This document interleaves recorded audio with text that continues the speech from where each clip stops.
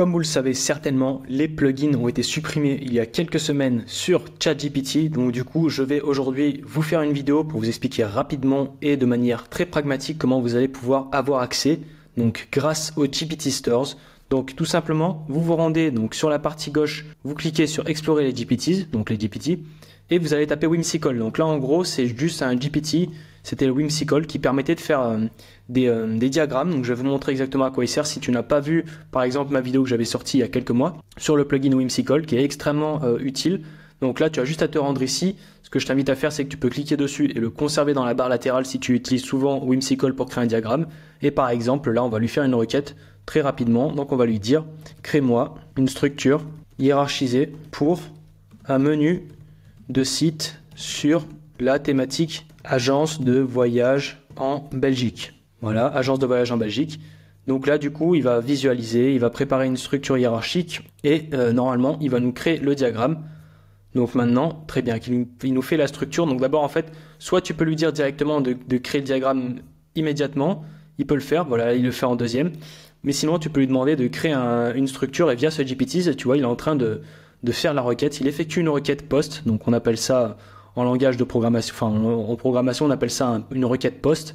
Il va aller effectuer un post pour pouvoir créer un diagramme chez Whimsical. Et là, comme tu es en train de le voir, il te dit je vais maintenant générer le mind map. Whimsical Diagram souhaite parler à Whimsical. Alors soit tu fais autoriser une seule fois, soit tu fais toujours autoriser. Donc là pour le coup, Whimsical, moi j'autorise toujours. Et ensuite tu es tranquille. Et là voilà, il te fait une discussion. Donc il va te créer le diagramme très rapidement. Voilà, le diagramme est terminé. Donc ça te fait, ça te permet d'avoir accès à, directement à Whimsical. Il t'a fait ton, ta structure de site pour l'agence de voyage en Belgique avec l'accueil, avec les destinations, Europe, Amérique, Asie, Afrique, Océanie, service, offre spéciale, ton, euh, ton plan est prêt. Tu as la possibilité de cliquer ici pour pouvoir l'ouvrir et le modifier sur Whimsical directement si tu souhaites. Par exemple, si tu n'as pas envie de mettre l'Océanie, tu peux très bien ici supprimer Océanie. Tu peux venir modifier, rajouter les éléments. Donc après, c'est du Whimsical pur et dur. Et tu peux par la suite, donc là, voir. Je voulais te montrer exactement ce qui s'est passé. Donc là, en fait, il a fait une requête post où il a envoyé ce texte-là dans Whimsical et ce texte-là en format Markdown et il a euh, créé automatiquement en, format post depuis cette euh, requête-là. Donc c'est du texte qui a été envoyé par euh, call API, par requête API et ça a créé ce diagramme.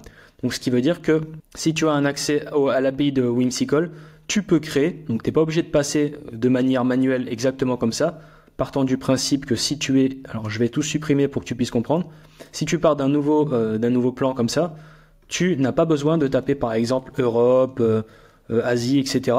Tu as tout simplement, tu, sais, tu as la possibilité d'injecter ça, donc juste du texte comme ça en formatage, avec si tu vois des slash, des backslash, des, des guillemets, des n pour sauter des lignes, etc.